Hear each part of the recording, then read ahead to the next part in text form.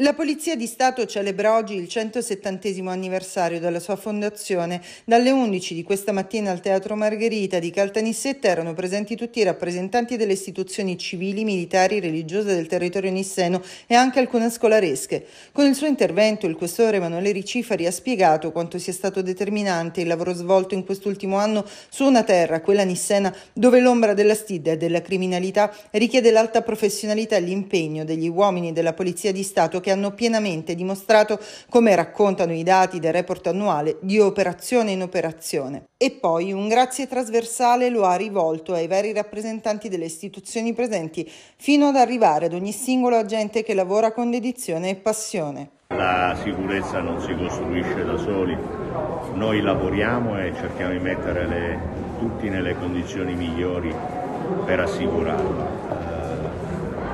A noi spetta il lavoro finale, ma tutta la, la parte che attiene alla sicurezza di ciascuno va costruita ciascuno nel proprio ambiente, ogni istituzione nello svolgimento corretto, compiuto, efficiente dei propri compiti e ogni cittadino nel rispetto del cittadino che vive accanto a lui.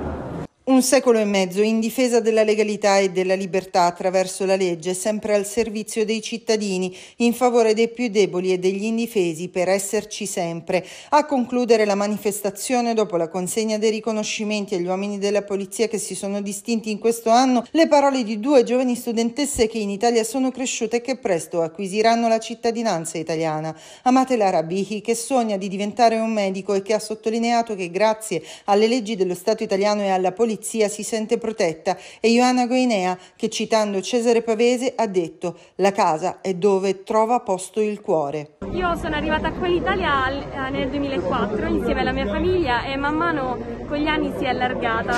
Sono molto felice di stare qua a Caltanissetta, mi sento molto ben protetta grazie alla polizia che fa sempre di tutto per tenermi sempre al sicuro.